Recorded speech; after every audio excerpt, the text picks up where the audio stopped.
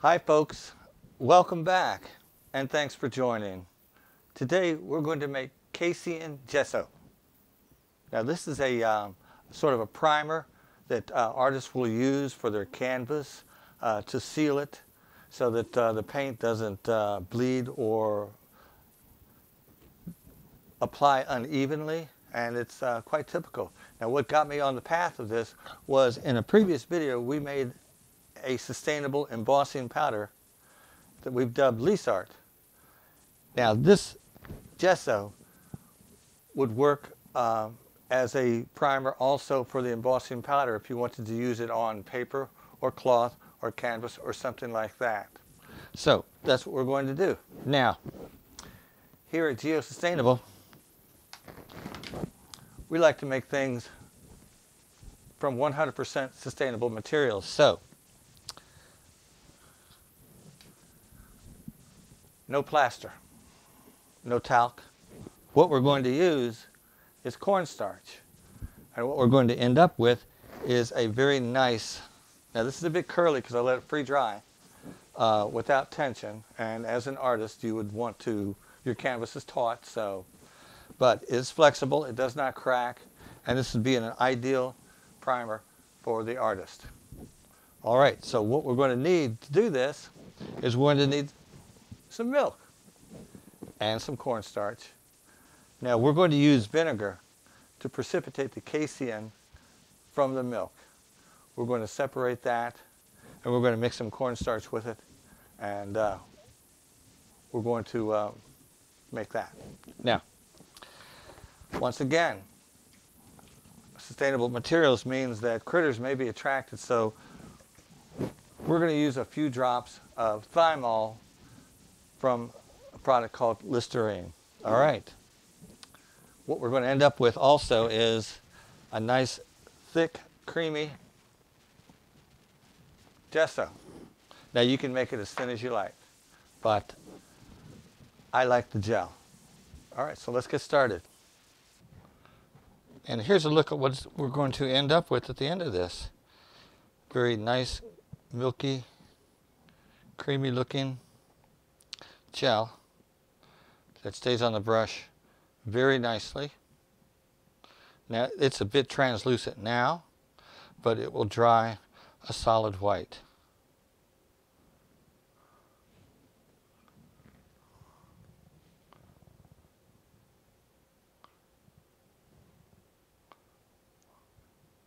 So let's get rolling. And in this video, I'm going to use the casein powder. This is a bodybuilder supplement. And we're going to treat it exactly the same way as we would skim milk.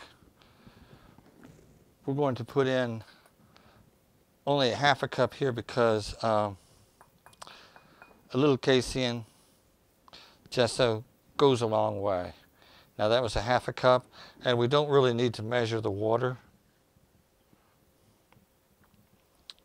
But what you will want to do is to make it the consistency of milk. And if it's too thin, that's fine too. Uh, a little thick would be problematic, so more watery is better.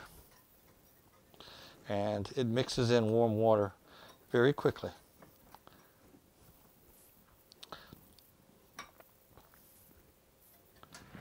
And now we're going to start piping in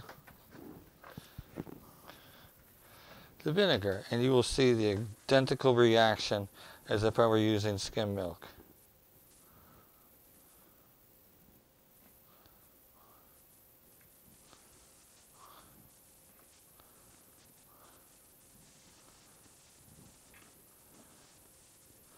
Now warm is better. You don't want to get this above 40 C. Cold will take much longer.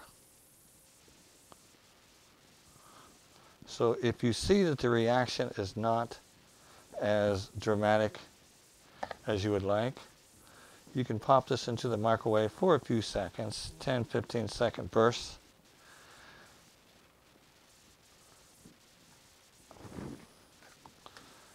until you get it to where you want.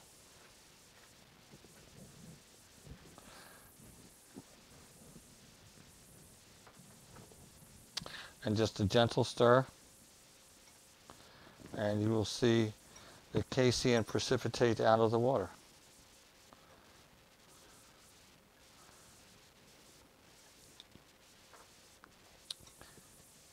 And just to illustrate, my water is just a little bit cold, so I'm going to pop this into the microwave and warm it up a bit. And that was uh, 45 seconds in the microwave. And there we have it.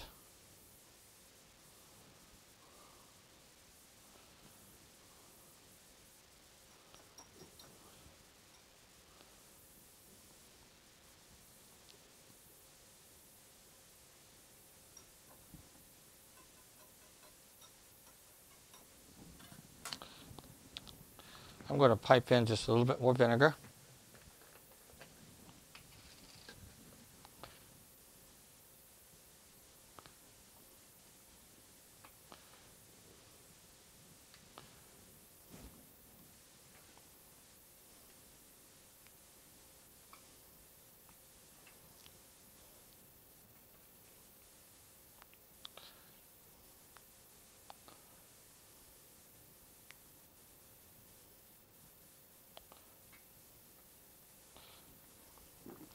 Now it's hard to go wrong on the amount of vinegar unless you don't use enough. If you don't use enough, you're going to waste your milk or your casein powder and it's going to not precipitate out. But as you can see how it is completely separated.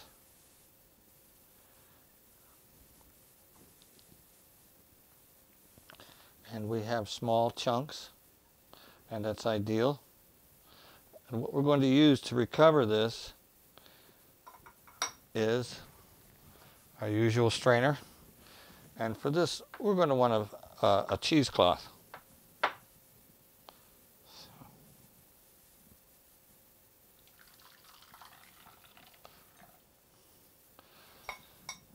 And we're going to let that drain. And then we're going to rinse this with some cold water. And I will be back. All right, it is filtrated out. I rinsed it with uh, some cold water, but I noticed there's this little bit of the casein sticking to the sides of the cheesecloth. And uh, you've seen me do this before. We're going to use just a little bit of water to wash down the sides just a little bit.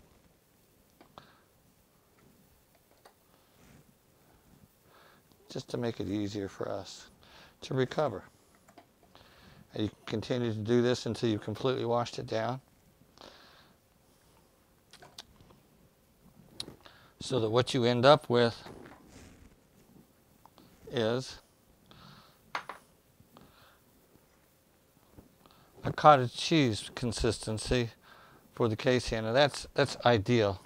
If it is a uh, if it's gooey and sticky, we'll just drive off a little bit more of the water until you get it to the uh, consistency of cottage cheese. All right. And you can recover what's left on the cheesecloth. Just like this. It just pulls right off. And there's that. Now here's what we want right here. Crumbly. And to this, we're going to add our cornstarch and then we're going to add more water. And we're going to pop this into the microwave to cook it just a little bit. We want equal amounts of cornstarch. We're going to pop in one half cup cornstarch. And again, the amount of water is really not important because this is where you're going to determine the consistency that you want. I'm going to start with one cup of water. So now we're going to combine everything together. There's our casein. Here's our cornstarch. We're just going to pop that in. We're going to pour in a cup of water.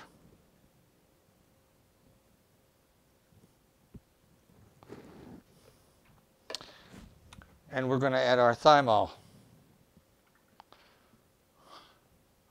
Six, eight, ten drops. Not too much.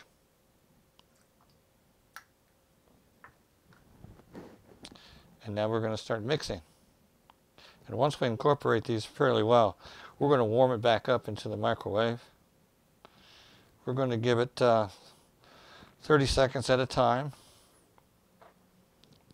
Now, if you cook it too much, what's going to happen is that the cornstarch is going to clump together, and that's going to require you to mix in a blender for a good long time to get rid of those lumps. So, slow heating and not too hot.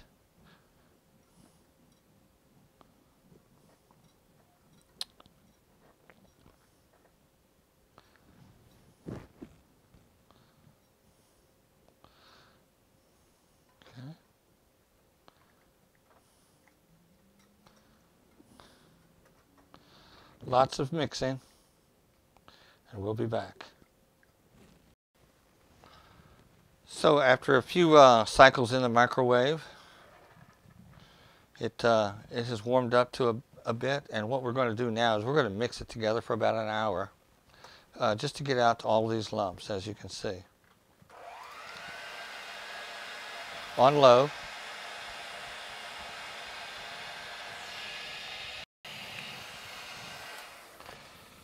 So that after an hour or so of mixing and slowly heating, what you're going to end up with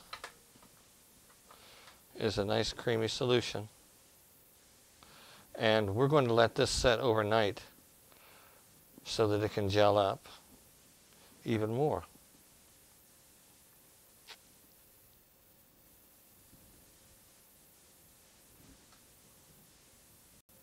All right, so now that it's sat overnight, it has firmed up into a nice gel. Now there's one more step for this, and that is what we're going to do is we're going to screen this.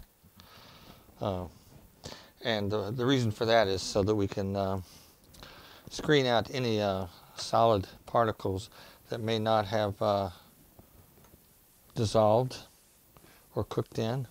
And uh, I'm just going to use just a, uh, a little dish towel here just to show you.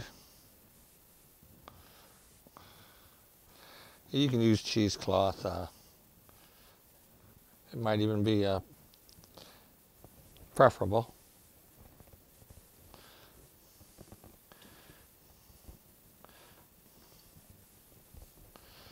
I think the, um, and this is an important step.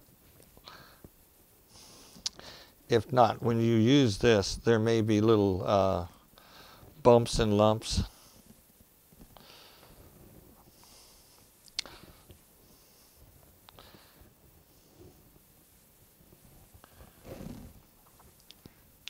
And there we have it.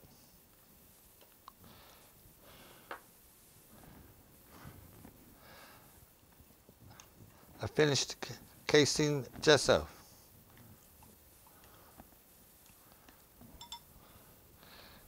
Now what I've done ahead of time is uh, to demonstrate a little bit.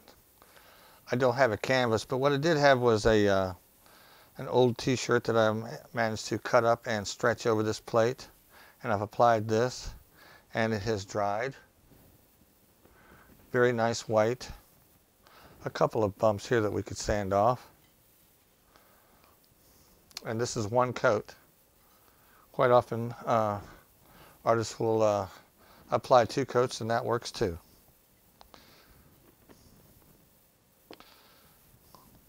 All right, so there we have it. A Casein gesso made with 100% sustainable ingredients, suitable for use on paper, on any porous surface, on canvas, And uh, as you see, you can use this as a primer for uh, the casein embossing powder that we made in a previous video. And what we've used is milk, vinegar, cornstarch, and of course a little bit of thymol to keep the critters away. Now this is acrylic paint. So give this a try and uh, perhaps you will uh, make a video instructing me and uh, give me an art lesson. and if you like this channel, well, there's going to be a green ball to replace this in just a moment. And it'll take you to my main channel where you'll see other videos on subjects related to arts and crafts, uh, sustainable living, things like this. So um, click there, check me out, and if you like, subscribe. And I want to thank you so much for joining. Bye bye now.